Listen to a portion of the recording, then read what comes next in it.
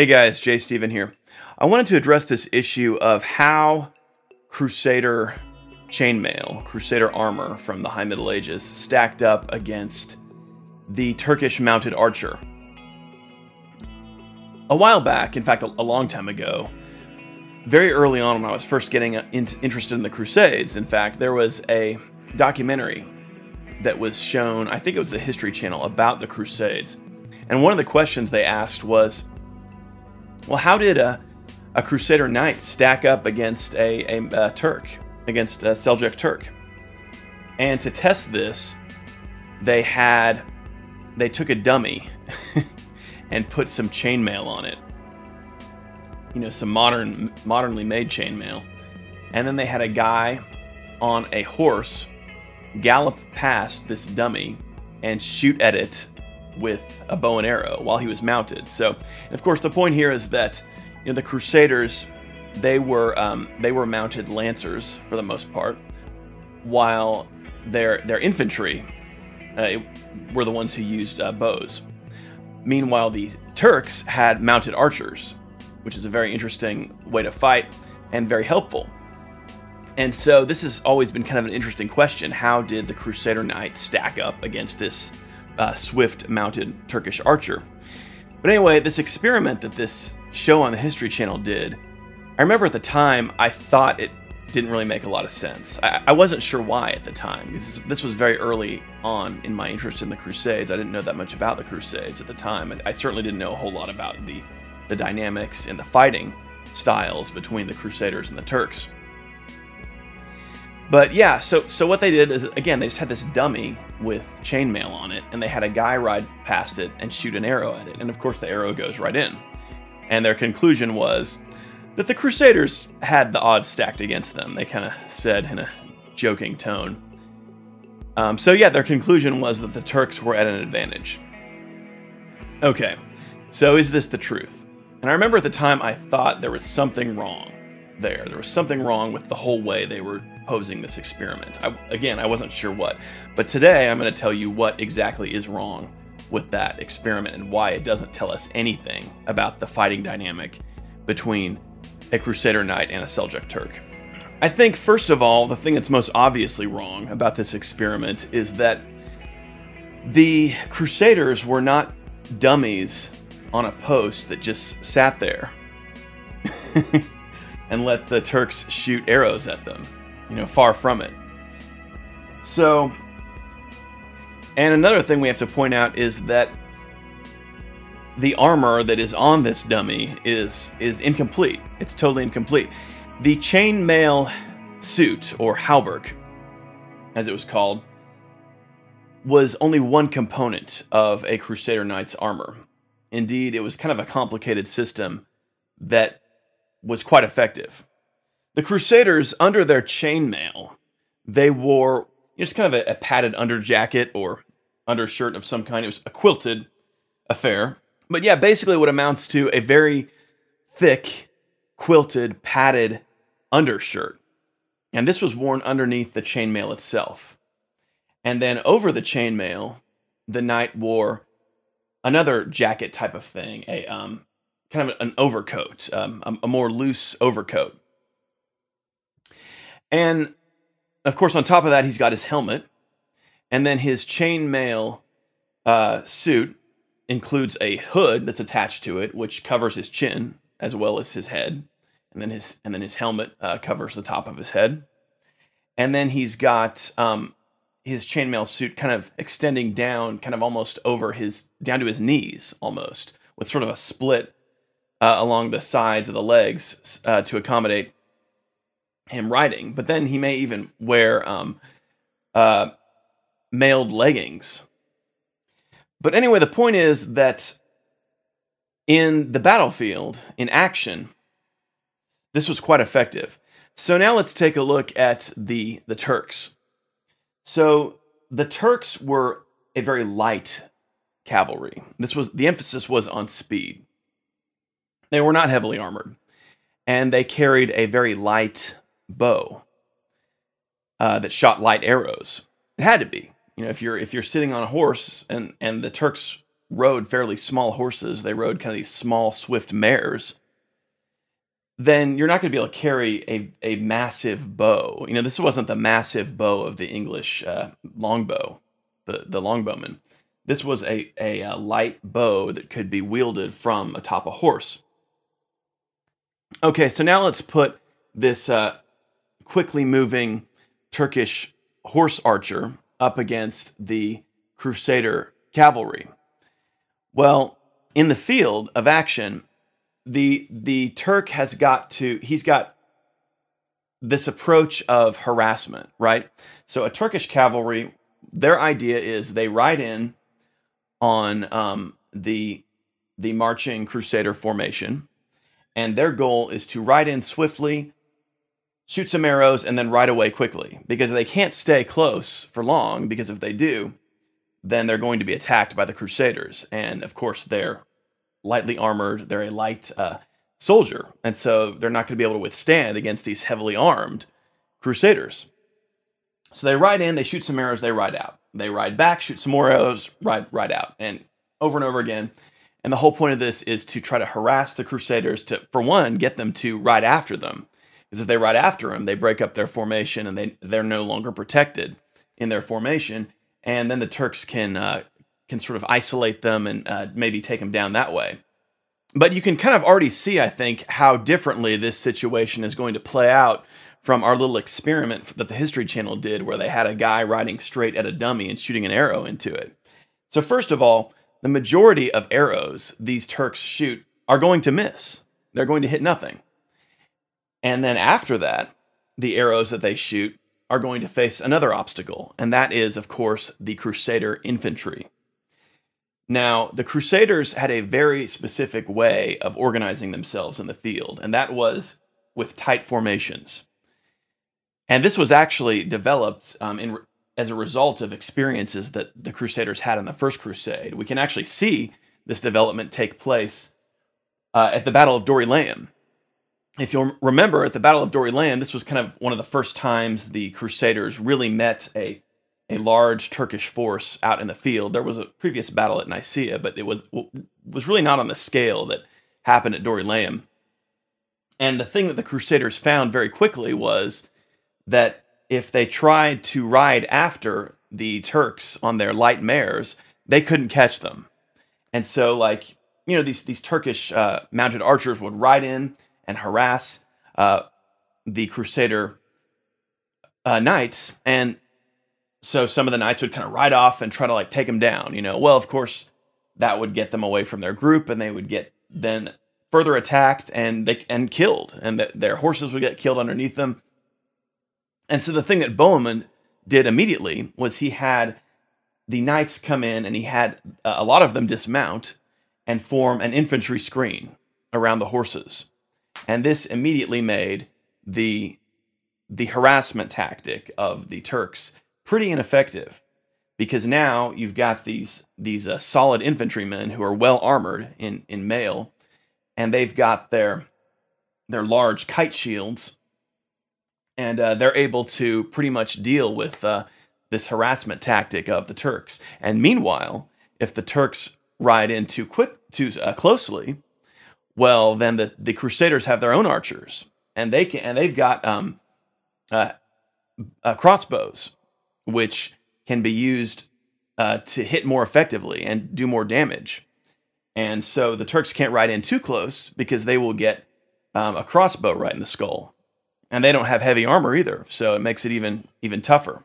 So as a result of this experience, the Crusaders developed this this consistent strategy of always keeping infantry in close proximity with their cavalry, especially when they were on the move.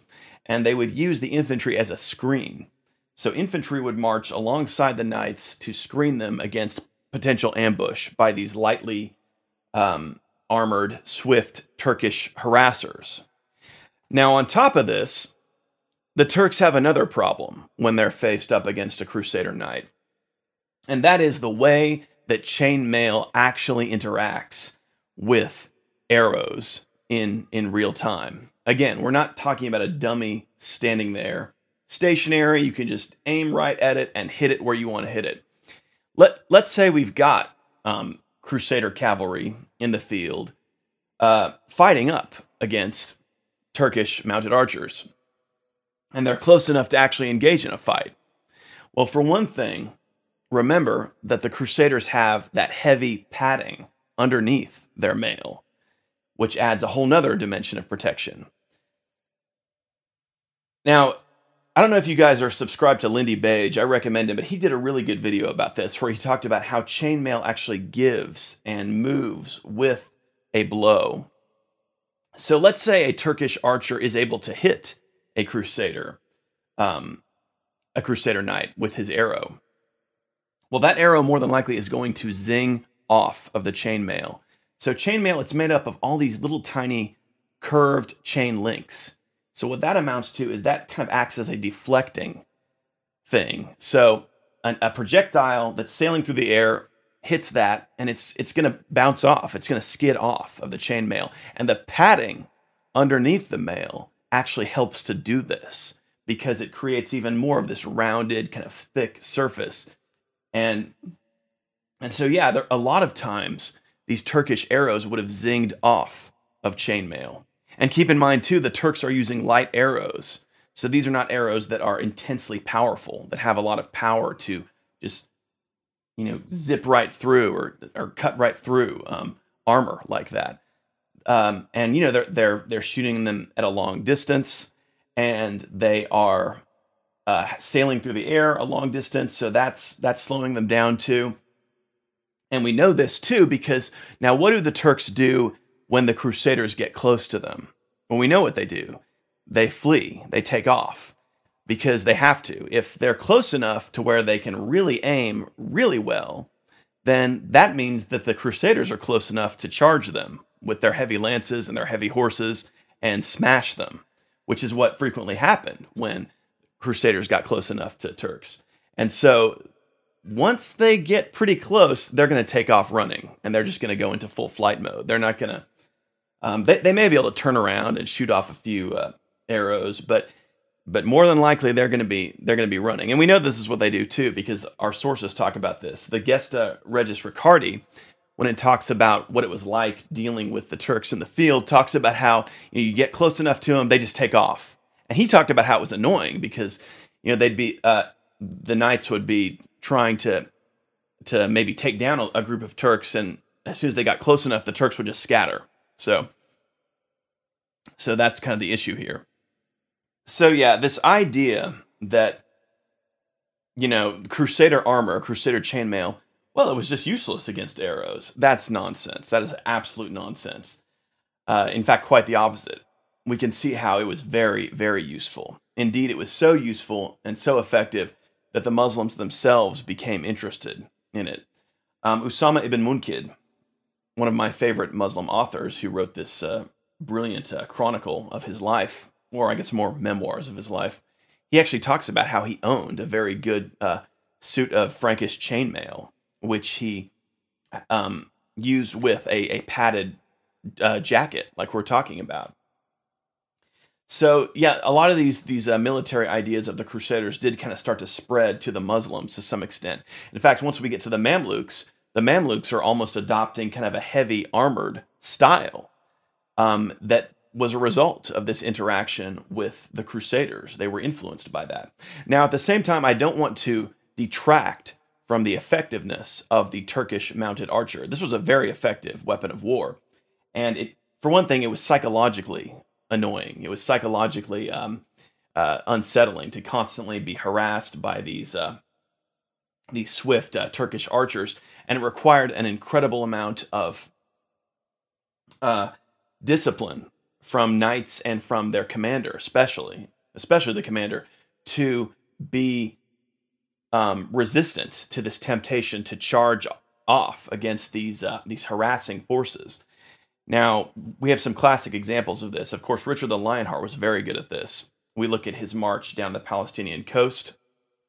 At the Battle of Arsuf, one thing that Richard did was he kept his army very closely and tightly formed as it marched with the infantry very close to the cavalry, so that as Saladin's harassers were coming in to to attack and try to provoke a response, uh, Richard kept his knights from doing that. And he did that for a long time, and he waited until Saladin actually had to commit his entire force up against uh, Richard's army. Then there was a charge. And actually, even then, um, the Hospitallers charged slightly early, but Richard took advantage of it and went ahead and just got everybody charging.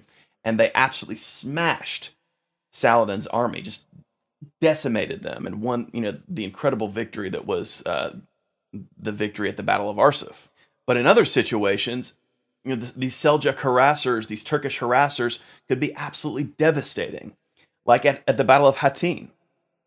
You know, in that situation, uh, Guy of Lusignan had moved his army into an unfavorable position, which allowed the Turks to to harass the Crusaders kind of at will. At the same time, uh, Saladin's army had cut the, the Crusaders off from water. Well, this made the harassment all the more, you know, irritating. And at the same time, um, there came a point when the infantry and the and the cavalry were, were separated, and so the Turks were able to pick off the horses more easily. Which brings me to another point: uh, horses could be very vulnerable to the Seljuk uh, Turkish harassers because horses were not as well protected as uh, the knights themselves. But that doesn't mean there there weren't some armor pieces used on horses. There were, especially as time went on, there were there were uh, some mail uh, pieces that could be made to protect certain vulnerable parts of horses. Um, so the, uh, the lower part of the horse, especially, was vulnerable. There's some evidence for almost like kind of mail pieces that hung off of of uh, drapings on horses that could kind of help protect that lower portion of the horse. Some like plate pieces began to be adopted for for horses, like a, a face uh, piece that would protect that part of the horse. One of the, the main things that was that could be used to protect um, a, a knight's horse was what was called a caparison, which was almost like a quilted. It was kind of like kind of uh, similar to the the idea that w- behind the the padded jacket that was worn underneath the crusader's armor. We have kind of this padded, quilted um, thing that goes over the horse, and that can really do a lot against, especially, you know, again, we talk about the movement of the horse, um, the fact that an arrow coming at it is going to kind of be be deterred by the air itself and by the movement of the of the horse. Um, this could result in uh, arrows being deflected. But but again, the most important thing in protecting the horses was that the was the infantry screen, and um, the idea behind that was you force the enemy to commit to to battle, and then you deliver the charge. And at that point, the, the Muslims cannot escape, and they they get smashed by this charge. So we uh, again, the Battle of Arsuf is a good example of that. Um, another example is the Battle of Azaz in 1125. Now, in this battle, the Muslims themselves tried to commit close to the Crusaders immediately. And the reason I think behind this was that um, they had often not had success with the harassing tactics, and so they were trying to force the issue. And they their numbers were considerably better than the Crusader numbers, so they thought they would overwhelm them with numbers. Well, it was a devastating victory for the Crusaders, a, a total victory for the Crusaders. The Muslim forces were were annihilated. Um, and it was because, again, because just in close quarters, when it came to close combat, the Crusaders always outdid the Muslims. There were times, though, of course, when this Muslim harassing tactic was very effective. The Second Crusade is a good example. When Louis VII of France was marching his army across Anatolia, he was not the, the top notch commander that someone like Richard the Lionheart or Bohemond was. And he kept his, his, uh, his soldiers, his knights, and his infantry marching too loosely. There were too many gaps, and the Turks were able to take brilliant advantage of this. They they would come in and they would harass and they would uh, cause confusion. They devastated Louis's army this way. But again, a lot a big part of this was because Louis did not have his formation the way he should have. So a lot of this really did have to do with if you had a poor commander in charge of the of the Crusader force, it could be the kiss of death. Again, Guy of Lusignan is a good example at the Battle of Hattin. Uh, Baldwin IV of Jerusalem was a brilliant general he almost always outdid Saladin in the in the field, even when Saladin had much larger numbers. The Battle of Montgisard is a good example.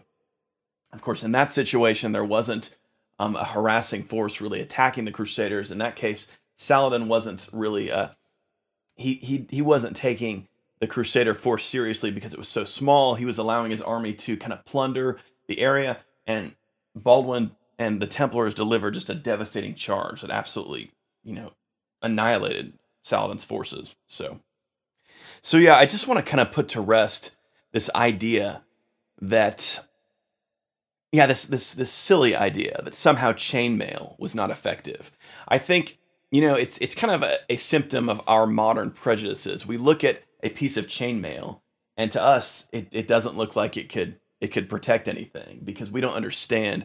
For one thing, I think a lot of our modern reproductions of chainmail are very poor. The links are kind of far apart, and uh, it's not very well made, and it's not made with the uh, military ideas behind them that uh, chainmail was made back in the Middle Ages.